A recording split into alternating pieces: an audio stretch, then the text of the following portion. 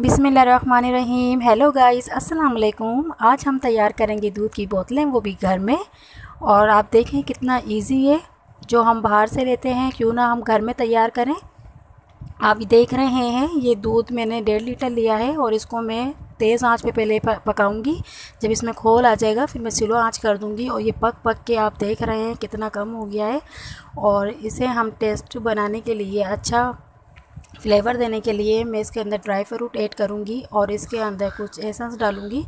आप चाहें तो ये मैंने चीनी ऐड कर दी है इसके अंदर क्योंकि दूध काफ़ी ये थिक हो गया है और इसके अंदर मैंने ये ड्राई फ्रूट भी ऐड करने हैं, आप देखिएगा।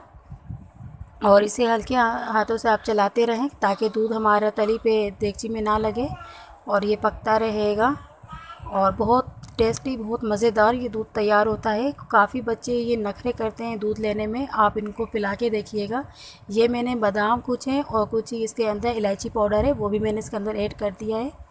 और इसको फ्लेवर देने के लिए हमें इसको भी देर तक पकाना है ताकि बादाम का, इलायची का और पिस्तों का इसमें फ्लेवर बहुत अच्छा आ जाए। और ये बच्चे बहुत शौक़ से पियेंगे। मेरे अपने ही घर के बच्चे दूध नहीं लेते। जब मैं इस तरह तैयार करती हूँ तो आप यकीन करें, सारा फिनिश हो जाता है। और आप भी ट्राई करके देखें, अपने बच्चों को इस तरह दूध देके। और ये एक चम्मच मैंने कॉर्नफ्लोर दूध में हल करके इसको मैंने ये भी इसमें ऐड कर दिया है, ताकि इसकी थिकनेस थोड़ी सही लगे। और इसे टेस्टी बनाने के लिए मैंने ये चीज़ें डाली हैं, ताकि जो एक दूध की महक होती है वो भी इसमें से ख़त्म हो जाएगी। जो हम, मैंने इसमें ऐसा से डाला है, केवड़ा ऐसा अगर आप चाहें तो केसर भी ऐड कर सकते हैं, पर मैंने वो ऐड नहीं किया। और ये आप देख रहे हैं, सिर्फ़ एक कतरा मैं ऐड करूँगी इसके अंदर, ताकि बच्चे, काफ़ी बच्चे कहते हैं, हमें इसके अंदर में एक आ रही है दूध की, हमें नहीं लेना। तो आप यकीन करें, वो बिल्कुल लेंगे फिर ये दूध। और इसके अंदर आप केसर भी ऐड कर सकते हैं। इसे हल्के हाथों से आप चलाते रहें और इसको भी देर तक पकाना है हमें। और बहुत टेस्टी ये तैयार होगा दूध देखना।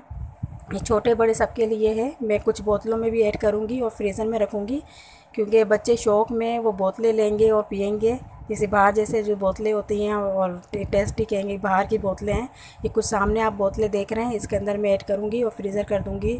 10-15 मिनट के लिए ठंडी हो जाएँगी और आप ये देखें आप बस मुझे शेयर करें लाइक करें सब्सक्राइब करें, ताकि मैं आपको और बच्चों के लिए काफ़ी रेसिपी आपको दे सकूँ। शुक्रिया।